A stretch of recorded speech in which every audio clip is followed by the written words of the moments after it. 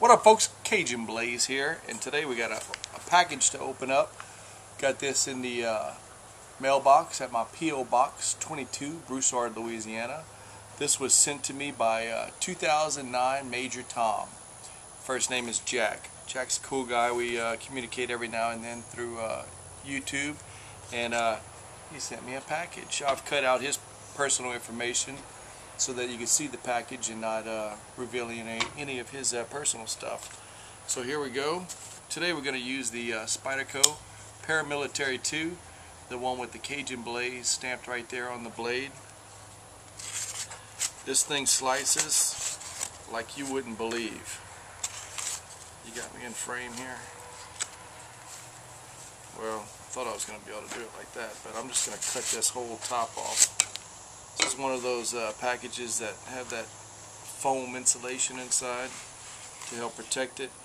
And I know what he sent me. He sent me a message, so I'm so looking forward to this. This is exciting. I'm going to bust open this envelope here.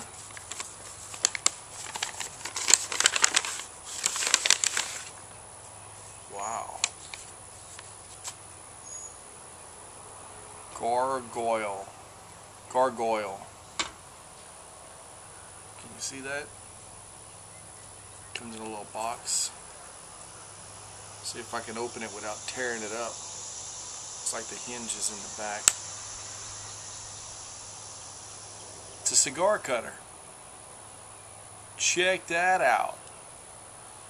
So, I'm going to take this nice cigar cutter. He said he's been having this thing for about 10 or 15 years never used it because it looks so cool. That is fantastic.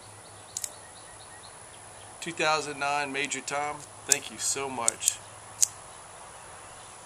I guarantee you I'm going to use this one because the one I have in my pocket today is a plastic one.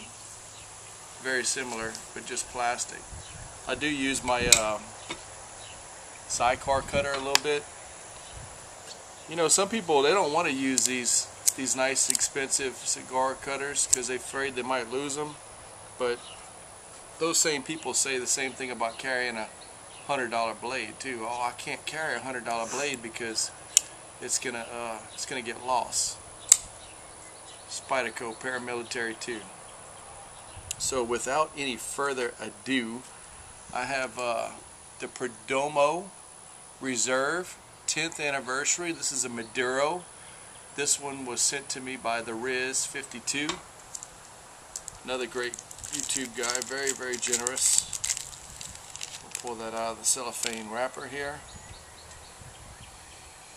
Man, that smells good. Very nice. So I'm going to try out my new cigar cutter. Cut just the very tip off.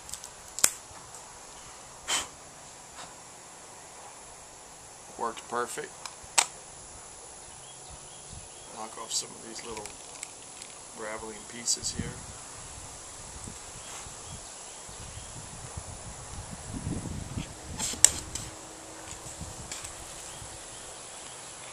Sometimes when you put it in your mouth, you get some of that leftover burnt ash. So we'll do a little toasting here.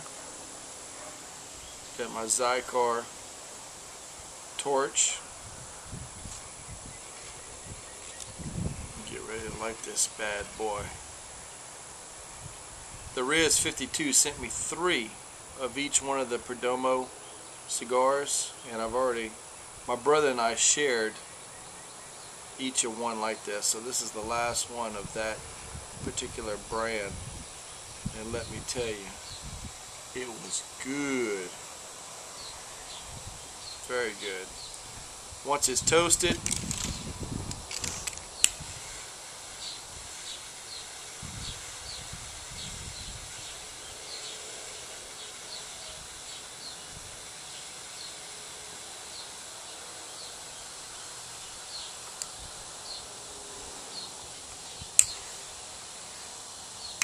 It's cut, it's toasted, and it's lit. And now we're going to sit back and enjoy.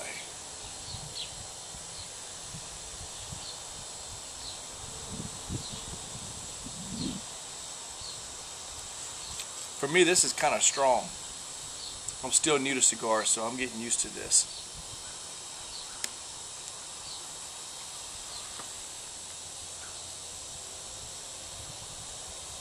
Good draw nice draw.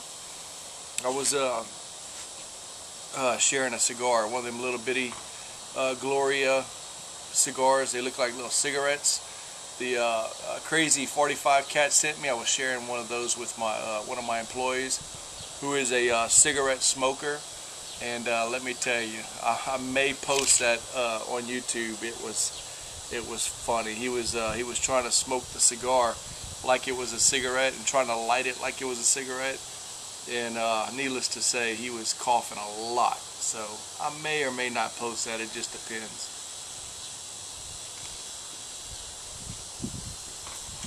he was uh, he was needing a cigarette, so I gave him one of those little cigar cigarettes. They uh, they're real thin. Uh, I think about a 10, 10 ring gauge.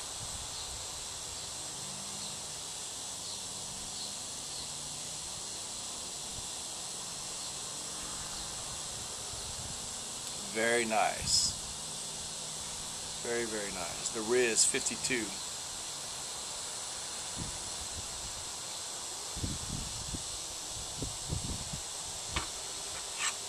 Thanks, Jack, at uh, 2009 Major Tom. I will cherish this cigar cutter for a very long time. Hey, I'm going to enjoy this cigar a little more. We'll come back and we'll holler at you later. Y'all take care. Thank you.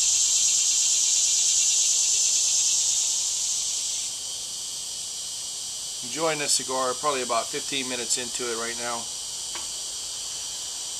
You know we got to show you some guns or knives while we're sitting here enjoying a cigar. And today we're going to show you the uh, Taurus PT 1911 this is the one that I had Duracoated. It's got the combat green at the bottom and the combat black at the top. Got rid of all that white lettering right here that said Taurus and then white lettering over here that said PT 1911 and uh, also change the grips out put some uh, Pachmayr uh, grips on it the rosewood grips with the uh, rubber finger grooves. Talk about a fine weapon. Uh, I will show you that it's not loaded, no magazine in the chamber. It's empty. And man, I've been doing some range uh, shooting with this and I tell you what, um, you know, they say it's the shooter and not the gun that, that hits the target. And while that's true, um, if there's a gun that you have and the, the, the, comfort of the grip I feel is is good in the hand for example when I when I grip this gun and I, I put my fingers around it and I got it in my hand just the comfort of this gun has made me be able to shoot it a lot more accurately and um, it's the shooter it's not the gun so by me being able to hold it and be feel more comfortable with a good grip. I think my uh, my accuracy has improved. It's not perfect, but I think it's improved a whole hell of a lot. And uh, I've been I've been to the range twice with this gun since I got it back, and uh, it's just a phenomenal piece. It's uh, super smooth. I was worried that uh, when I first got it back, I had to wait a week to sh actually shoot it. And I was worried because it was real tight on the slide. And uh, the guy Jace who uh, did the work for me he even said that that uh, because it was so tight that he was worried that it would get hung up because he had to he had to do some filing on the inside of the slide. But after uh, after shooting it and and uh, you know I, I, cleaned it real good with some Ballistol and lubed it up real good used a couple of little drops of Militec on there and its slide is just silky smooth.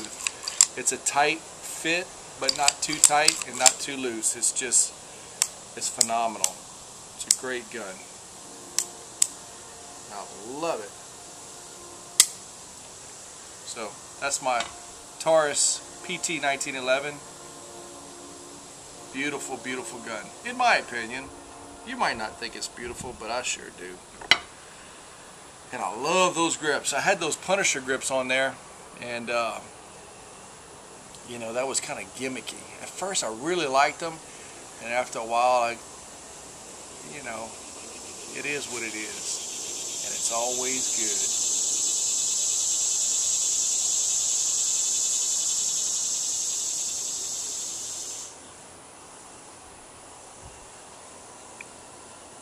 It's a strong cigar.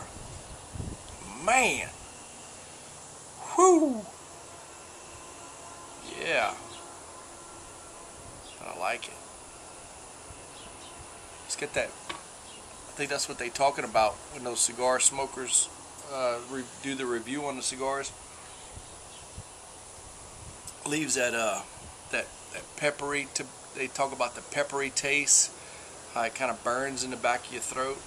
Maybe that's what they're talking about on on a cigar is when it burns. And this one burns a little bit. It, it burns.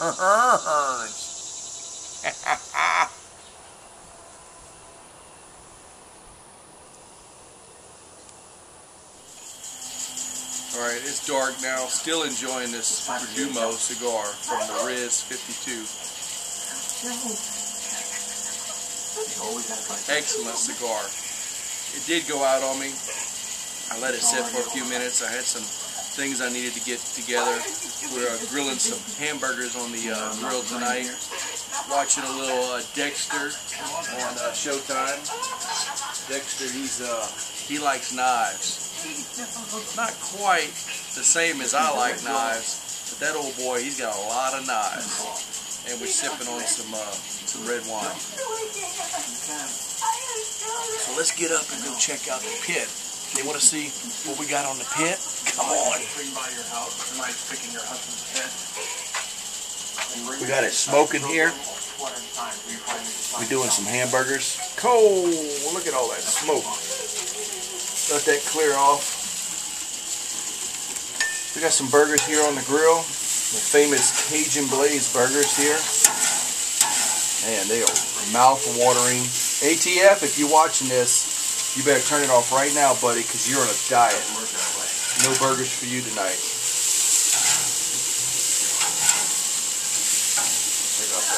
Got some little hot dogs.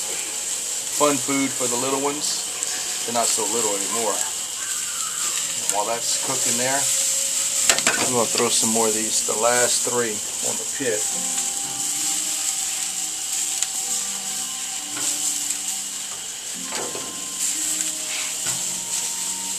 And we'll shut it, let it sit, and I'll continue to enjoy this uh, cigar.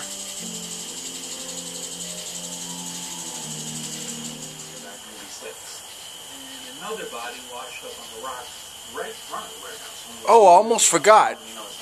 Cajun Blaze always says, not A, not B, but see ya!